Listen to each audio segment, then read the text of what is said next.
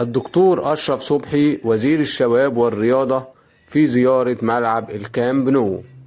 حرص الدكتور أشرف صبحي وزير الشباب والرياضة لدى وصوله إلى أسبانيا على تفقد وزيارة ملعب الكامب نو معقل نادي برشلونة الأسباني.